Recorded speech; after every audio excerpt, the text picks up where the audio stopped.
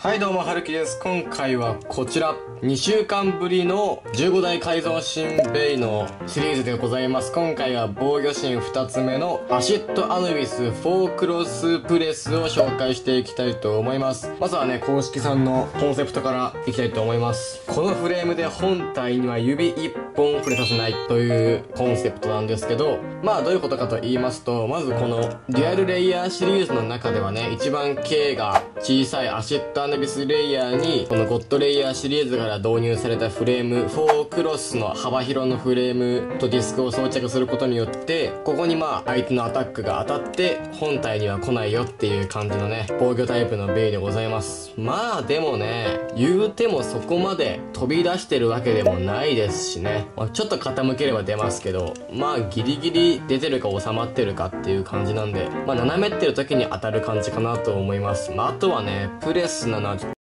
まあ、プレスもね、そんな別段弱いわけではないので、まあ、とりあえず使ってみなきゃわからないなっていう感じでございます。というわけで早速やっていこうと思います。行きましょう。ではやっていこうと思います。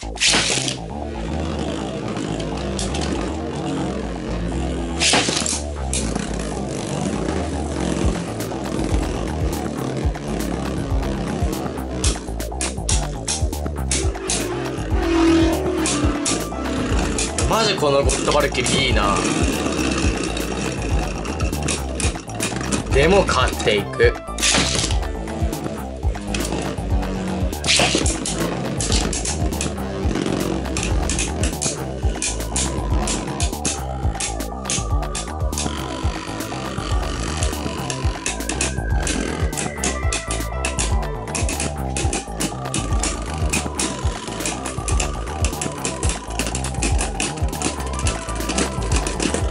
持久力もある。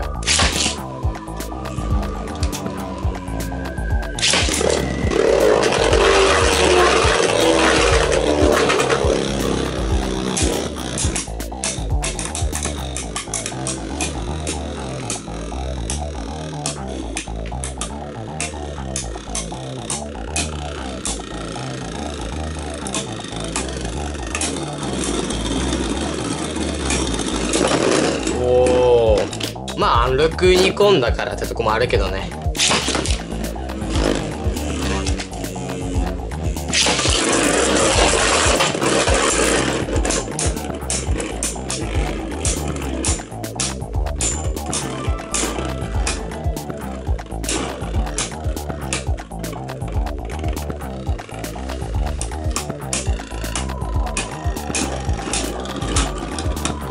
ベヒーモスの連打もしっかり受け流す。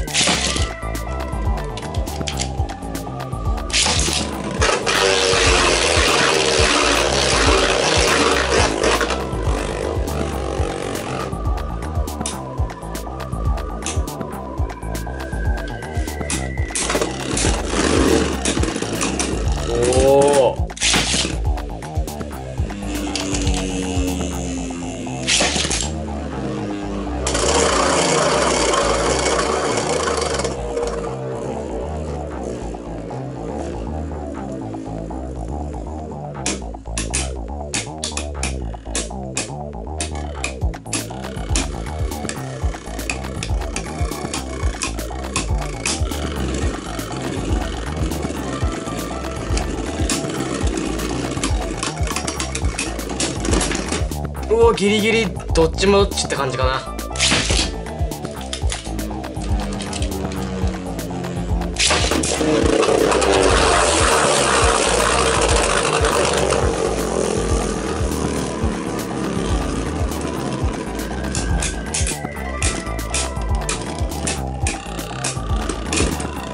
安定感抜群。はい、というわけで今回はこちらのアシッドアヌビス4クロスプレス使ってみたんですけれども、まず安定感が抜群すぎますね。これは間違いなく強いと思います。これすごいいいな。でまあコンセプトのこのねクロスに当たってレイヤーには当たらないっていうのはほとんどなかったんですけど、まあ、この K の小さい内重心のね防御力の高いアシッドアヌビスにずっしり重いねディスクとフレームそしてまあドライバーの中では重めのプレスを履くことによってもうすごい低重心ですよこう見ると。もうスタジアム中央にどっしり構えられるっていう感じのね。でまあプレスもそこそこいいパーツですしアシッドアヌビスはもう抜群にね防御力はあるのでもうそんじょそこらの攻撃力じゃねバーストもしないしオーバーもしない。で、えー、一応全部ね先出しでやっていたんですけどストームスプリガン以外にはね全部スピンフィニッシュを決めるという持久力もなかなかにあるという。これはね非常に誰が使っても強い本当に強い改造かなと思います。あ使いこなして強い改造も強いんですけど紹介したいのはこう誰が使っても強い改造なので、まあ、こっちの方がいいかなと思います。まあ、パーツは今まだ入手しやすいかな。アヌビスは多分売ってますし